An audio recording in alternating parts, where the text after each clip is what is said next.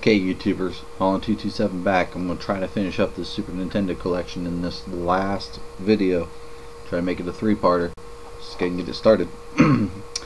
First one I got to football games. Not as good as Madden. Um, I popped it in a couple nights ago.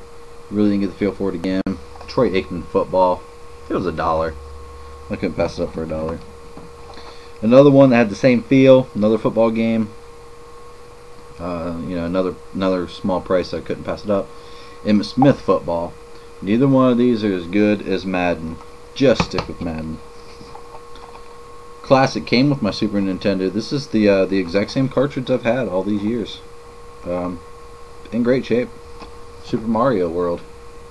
Um, I started playing this one again. I have reached the Forest of Illusion, which we all know is a pain in the butt.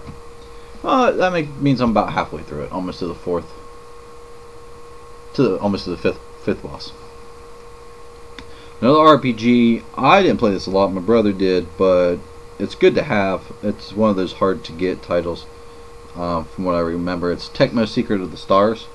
It's got a guy's name on the back of it. What was up with people writing their names on cartridges? I mean, I know your buddies would try to steal them, but I'm pretty sure with certain games, um, you should have no problem finding them. Don't know much about it. Now this is a fighter that I really love. Uh, side scroller fighting game I really love was Batman Returns. I don't know what it is about this game. Uh, it could be the fact that I work at a comic book shop for four years. Uh, could be that I was a big gamer, Batman fan. But I love this game. It's a Konami game, makers of Castlevania. Maybe that's why it's so good. I don't know what it is, but Batman Returns, awesome game. Uh, most people can tell what this is from the back of it. Killer Instinct.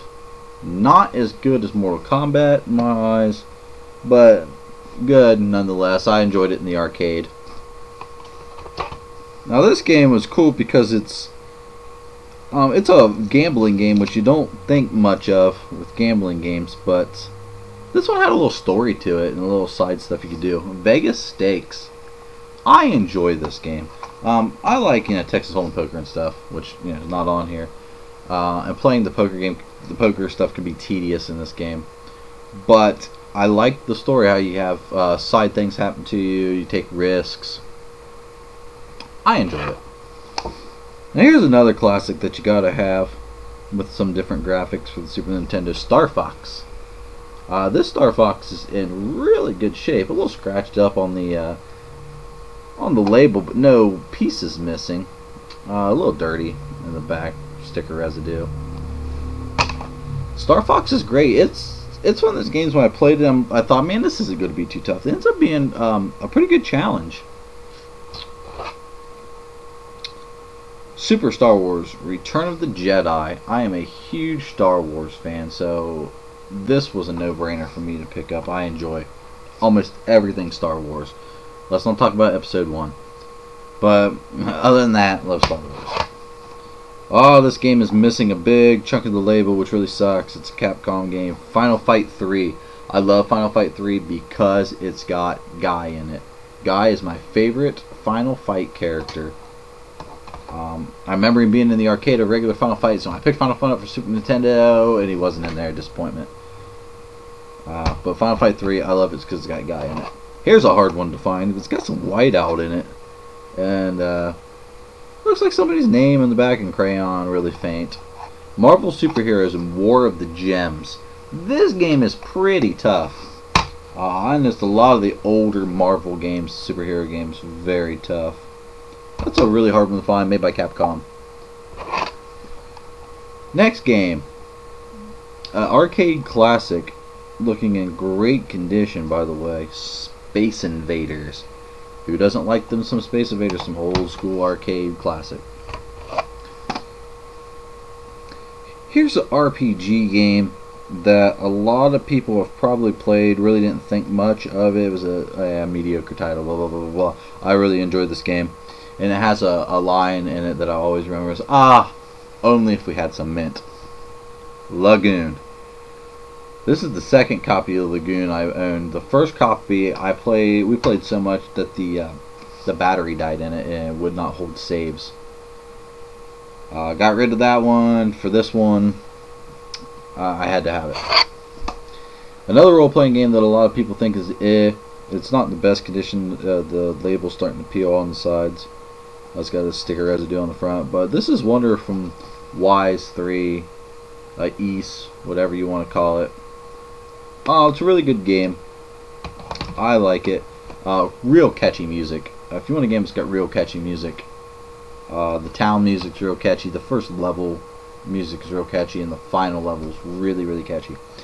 Um, they these games uh, span off to an anime, uh, which I've only found the first book of. I'd like to find the rest of it, but it's called uh, Ys. Um, so if, if, you know where I can find the rest of that anime series, uh, let me know because I really enjoyed it. This is the second Super Nintendo game we ever owned after Mario World, and it's Pilotwings. I like Pilotwings. It's it's it's a it was a fresh take, uh, hang gliding, uh, landing plane, uh, par parachute, yeah, par parachute, um, and a rocket. Um, scoring points, trying to get your license test, and then every four missions, you got eight missions, and then uh, after the fourth and the la and the eighth, you went into a fighting mission. You were training the whole time to go into a day and a night operation in a helicopter.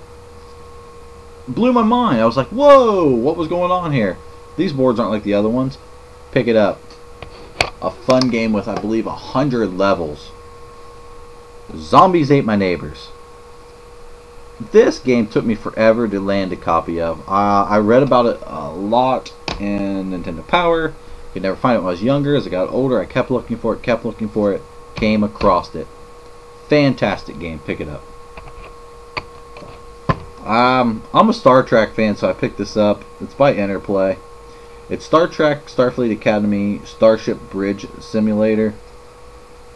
Eh was not impressed. Really let me down. Really let me down. But as a Star Trek fan, I'll, I'll keep it forever. Another Capcom game, Final Fight 1. Probably the best gameplay out of all of them. But like I said, I was disappointed when the arcade version didn't come over with Guy. Also disappointed that it didn't come with the same... It was missing a level out of the arcade. But nonetheless, great game. Here's a game I never had when I was a kid. Uh, I picked it up a few years back. Donkey Kong Country. That's a good game. A good side-scrolling platformer. Not as good as Mario. But it's Donkey Kong, so it's awesome. Another copy of Star Fox with stickers on it. Not in as good shape as the other one. Oh, probably one of the worst games I've ever played. Um, and the the cartridge is in bad condition. It's uh, Drakkhen. I believe that's how you pronounce it. Uh, I could be wrong. Don't waste your money. Uh, I paid a dollar for it. I feel like I may have wasted my dollar. Now, a better Star Trek game, and I have this for the Genesis, and I made a comment about this on Super Nintendo, Star Trek Next Generation. Well, I really like this game, Star Trek fan. I think it's awesome. Here's a uh, side-scrolling shooter that I actually really liked. Uh, it's BlaZeon, uh, an Atlus title, which is really good because Atlus titles are hard to find especially nowadays with uh, all the current generation and PlayStation 2. Um, there's an Atlus title for PSP, Crimson Gem Saga, that no store within uh, 50 miles of me has. Um, but BlaZeon was kind of cool. Being Atlus title was even better. Last two games are games that everybody should have played, especially RPG fans. I'll start with this one from Squaresoft. Uh, great condition. Final Fantasy 2. Um, and the other one I have, Squaresoft Final Fantasy 3, you know, 4 and 6 respectively, um, in Japan. Final Fantasy 3, good story, great characters. I love the Esper system. Um, I liked how Umaro and Gogo were optional characters you could go find. I loved how the story ended if you didn't wait for Shadow on the floating continent. Um, I also like the fact that in the world of Ruin, um, Celes Sabin, maybe Locke, I think it is, are the other ones you have to have. Maybe not Locke. You can beat the the end game with only three three guys uh, that you're required to have. Final Fantasy 2, the better of the two. I'm gonna try to wrap this up quick because I'm I'm gonna go over my 10 minute mark. Awesome characters, Cecil and Kain, awesome. Palom awesome. Um, great story. Love the side quests. I love side quests. Love uh, Bahamut, very tough. Uh, Golbez very great story. Uh, it's one I'll give a good review on.